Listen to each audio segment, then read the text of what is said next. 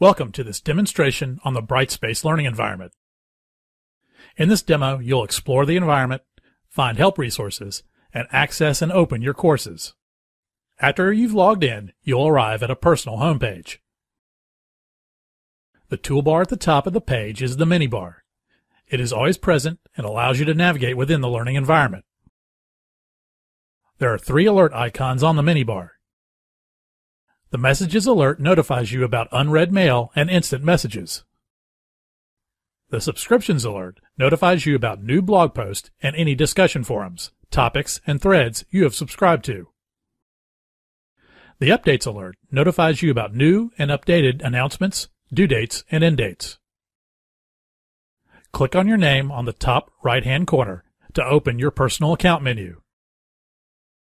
Your personal account menu allows you to edit your profile, notifications, and account settings, to check on progress in all your classes, and log out of Brightspace.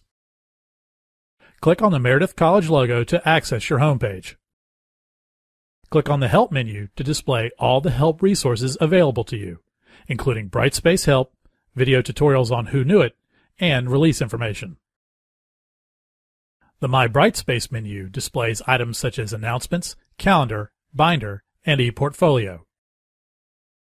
There are two ways to access your courses, via the Course Selector waffle icon or from the Courses section on the Learning Environment homepage. Click on the Course Selector waffle icon. A list of your courses displays. Courses that are already pinned to your Courses section on the Learning Environment homepage are highlighted and displayed at the top of the list. You can pin or unpin courses by clicking the pin icon next to each course name. Pin courses appear in the Courses section of the homepage. Click View All Courses to see all your courses, pinned and unpinned. To pin or unpin a course, hover over the course icon and select the ellipse icon and click Pin or Unpin. Click X to return to your home page. Click on a course to open it. After opening your course, you'll see the nav bar where you can access components of your course.